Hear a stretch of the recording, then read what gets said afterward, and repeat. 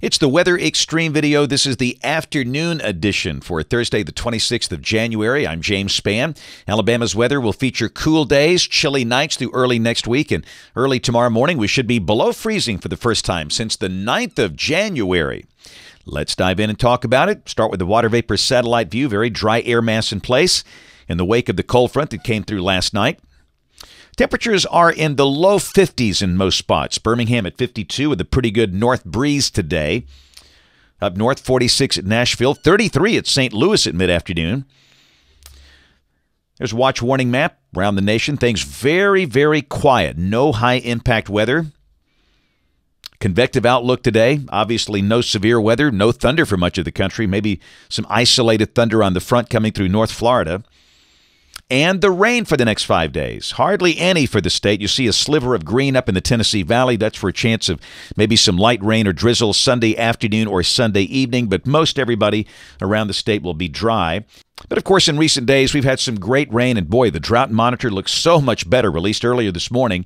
We still have an extreme drought in that zone from Tuscaloosa to Pell City and a severe drought, including Birmingham, Anniston, Gadsden. But again, uh, no exceptional drought anymore, and, and that's a huge improvement. And we hope that uh, that continues, although, uh, as you saw there, will be dry for a while.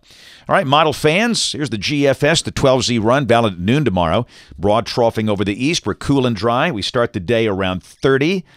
The high tomorrow afternoon should be around 50. Areas north of Birmingham stay in the 40s all day, and again, a fairly chilly west wind. Saturday, same thing. We start the day around 30. The high should be in the low 50s. And Sunday, a disturbance coming uh, around the trough could squeeze out some snow flurries over Tennessee and maybe a little light rain or drizzle over North Alabama Sunday afternoon or Sunday evening. But uh, for most of the state, we stay dry. Uh, Sunday's high, I'd say 47 to 50 with a mixture of clouds and sunshine. Here's Monday, a reinforcing surge of colder air drops in. We start the day in the upper 20s. The high will likely be in the upper 40s. And these are the anomalies. And you can see the east is pretty cold on Monday. Tuesday, more than likely 50s and 30s. Pretty much the same thing on Wednesday. Maybe evidence of a uh, secondary front coming in with maybe a few sprinkles for the northern part of the state, but the air pretty dry. We're not going to mention rain for now. And this is Thursday of next week. A zonal flow and again, maybe a sprinkle, but uh, odds of a significant rain chance there look pretty small. Lows would be in the 40s, highs in the 50s. If This is right.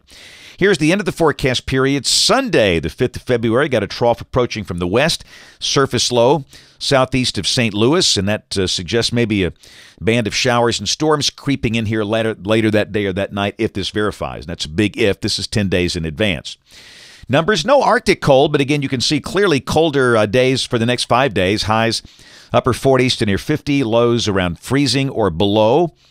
And after that, highs mostly in the 50s and lows mostly in the 30s, where we should be for early February. That's it for the Weather Xtreme video this afternoon. We'll have notes in the blog. The next video here by 7 o'clock tomorrow morning. If you can't catch us this evening on the live stream or on television, ABC 3340 News at 4, 5, 6, and 10 o'clock. Thanks for watching. Have a great evening, and God bless.